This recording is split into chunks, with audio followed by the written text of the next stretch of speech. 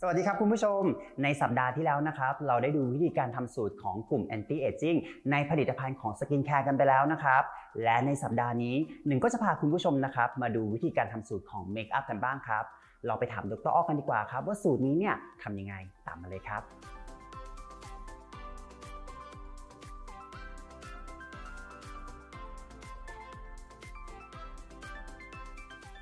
วัสดีครับดรอ้อ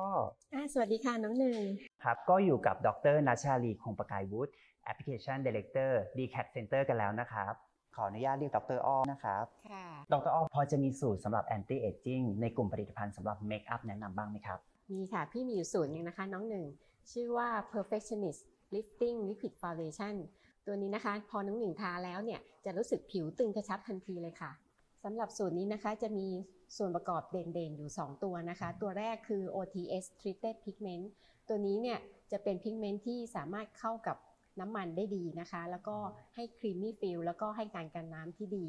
อีกตัวหนึ่งนะคะคือตัว Liftonin Express ตัวนี้เนี่ยจะช่วยลดเลือนริ้วรอยนะคะ และทำให้ผิวเนียนเรียบตึงกระชับทันทีหลังจากที่ใช้ค่ะ